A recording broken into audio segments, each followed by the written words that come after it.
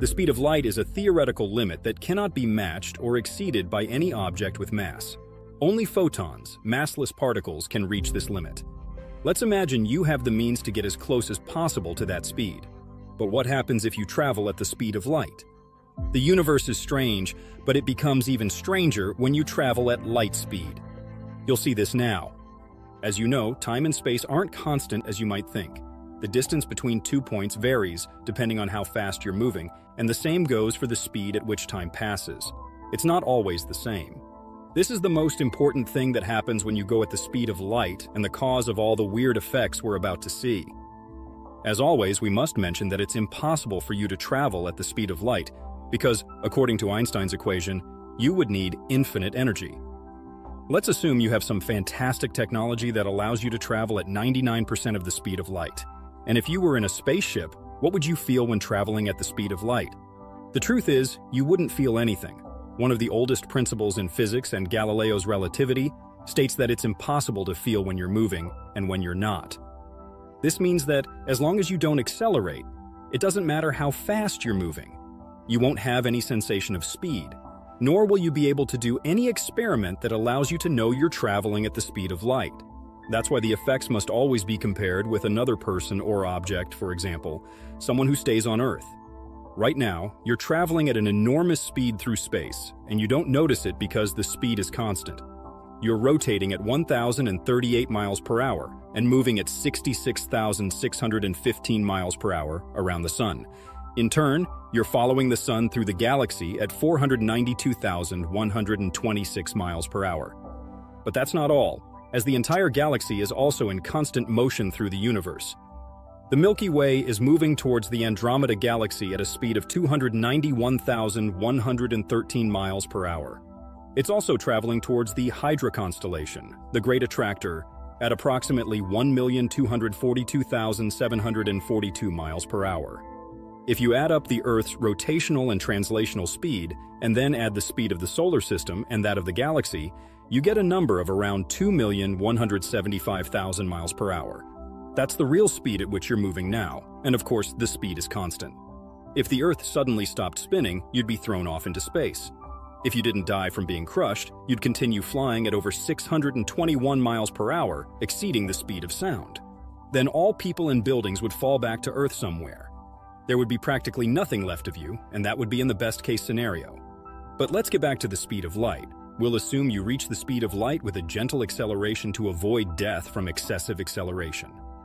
To achieve this, you'd need to accelerate for a year until reaching nearly 186,000 miles per second. In many science fiction movies, we see how the ship suddenly accelerates without considering the physical consequences of inertia, so the ship should have a highly developed system to eliminate inertia. If you were to build a ship with infinite energy and no inertia, you'd have other problems.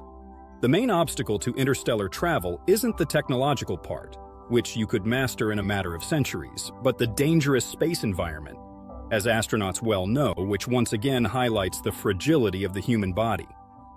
If you were to move at almost 186,000 miles per second through outer space, you die in a matter of seconds. Although the particle density is very low in a vacuum at high speed, the few hydrogen atoms per cubic centimeter would hit the vehicle's bow with an acceleration similar to that achieved in the Large Hadron Collider, thus acquiring an energy of 10,000 sieverts per second. Considering that the lethal dose for a human being is about 6 sieverts, this radiation beam would damage the ship and destroy all traces of life inside it. According to measurements by scientists at Johns Hopkins University, no frontal shielding would be capable of protecting you from ionizing radiation. A 4-inch thick aluminum wall would absorb less than 1% of the energy, and its size couldn't be increased indefinitely without compromising the energy needs of the propulsion system. In addition to atomic hydrogen, the ship would have to withstand erosion from interstellar dust, significantly increasing the chances of seeing its structure pulverized. As a solution, you'd have to settle for reaching speeds of only 10% of the speed of light in a generational ship that would allow you to travel to the nearest star Proxima Centauri, within a human lifetime, as the 4.22 light-years distance would turn into a 40-year journey. But let's suppose you've also managed to build a ship with super shielding and a technologically advanced shield that nothing can overcome, not even radiation. you travel at the speed of light and have a friend on Earth who will serve as a reference. The difference between your time and space and theirs will lead to very curious situations. Time and space change when you travel at the speed of light. When you travel at almost the speed of light, time passes much more slowly for you than for your friend on Earth. You won't notice it. You see your clock moving at the same speed. But when you return to Earth, you'll see that he has aged much more than you. After nine and a half months of traveling through space at 99.9999% of the speed of light, you see that more than 56 years have passed on Earth. There are three important things that happen when you travel at a speed close to that of light. The first is time dilation. At almost the speed of light, time passes more slowly for you. But curiously, you wouldn't notice it. You'd see 10 minutes pass on the clock, but for Earth observers, it could be 11.6 hours. In other words, each second on the ship is 70 seconds for your friend on Earth. The second is aberration. Your field of vision contracts until it becomes a tiny tunnel-shaped window. The third is the Doppler effect. Light waves from stars in view cluster together, so that space objects appear blue with a flash of light. In contrast, the stars left behind spread out and look reddish. If you increase your speed, the visual experience becomes so intense that it seems as if everything is vanishing. It's important to remember that this doesn't mean you're seeing reality distorted by a failure of your senses, but rather that when you travel at the speed of light, distance and time actually vary.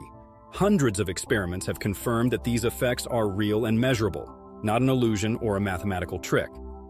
Therefore, even if you could build ships that could approach the speed of light, you'd have a big problem with time in the rest of the universe.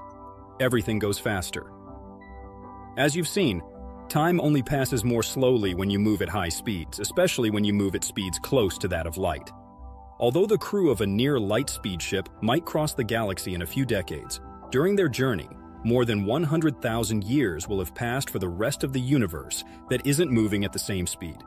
As a result, as soon as the crew returns to their home planet after completing their mission on the other side of the galaxy, all their loved ones will have died long ago, and it's possible that the world will be a completely unrecognizable place for them, depending on how long they've been traveling through space. That's why traveling in this type of ship would be a one-way trip. It's not a particularly attractive scenario for astronauts who plan to see their family and friends again, but at least theoretically, you could use this method to send unmanned missions to the other side of the galaxy. This way, the problems and risks that come with life support systems wouldn't be necessary, such as suspended animation for thousands of years or building a kind of generational ship where the descendants of the original astronauts are the ones who reach the selected destination. Without a doubt, the vast universe now seems too big for you to cross in our slow vessels, but surely a day will come when you discover alternative energies and technological advances that you can't even imagine. And if you're prepared for it, your future will be to navigate among the stars.